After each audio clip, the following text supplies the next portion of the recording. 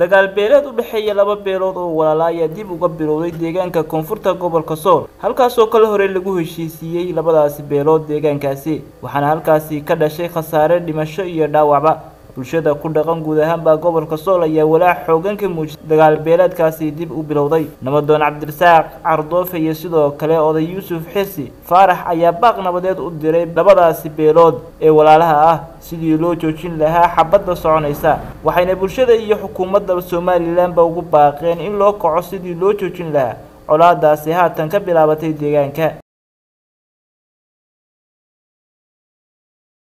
bismi illaahi raxmaan raxiim alxamdu lilaahi rabbi alcaalamiin waxaanu baaq nabadeed u diraynaa dagaalka ka socda hawdka amase koonfurta laascanood ee ay ku dagaamayaan labada reer ee walaalaha ah ee khayr cabdi iyo bahar same.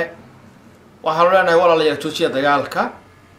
Aada iyo aad bay noo qiireynaysaa amase aan uga xunnahay maanta dagaal ka soo cusboonaaday aaggii hore oo nabadu ka dhacday ee xabadii koonfurta laascanood aanu joojinay ee aanu inta badan u dib jiranay inay saaka nagu soo cusboonaato waa mid naxdinteeda leh walaalayaal. Wixii dhintayna allaha u naxariisto waxa dhaawacan allaha u boogadhayo hala joojiya dagaalka. Oo dagaalku yuusan halkaa nagu dhaafin oo na maqla oo nabad baanu ku baaqaynaa waxaanu kaloo u baaqaynaa ummadda islaamka meel kasta ay joogto ha loo gurmado dagaalkaa saaka soconaya ha loo gurmado fadhiga ha laga kaco islaamiya waxaanu leenahay xabad baa bilaabatay. Dowladda somalilandna waxaanu leenahay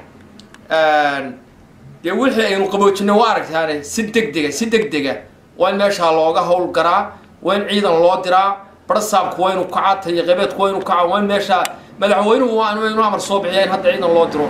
Ha la joojiya xabadda dowladduna gacan birla waxa kaga qabato shacabkuna ha kaceen idinkuna walaalayaal waxaan leenahay xabadda joojiya.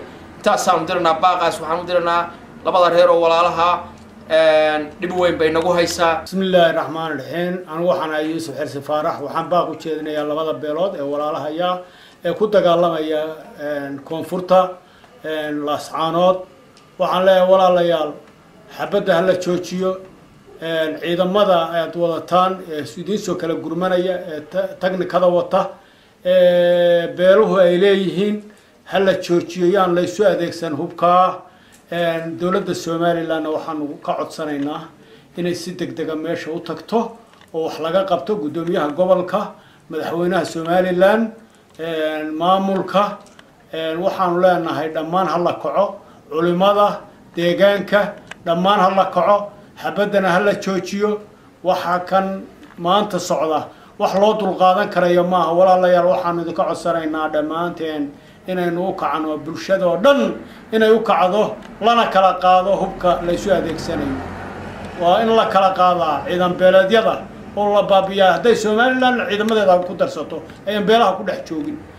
Sidaasaan dowladda ka codsanaynaa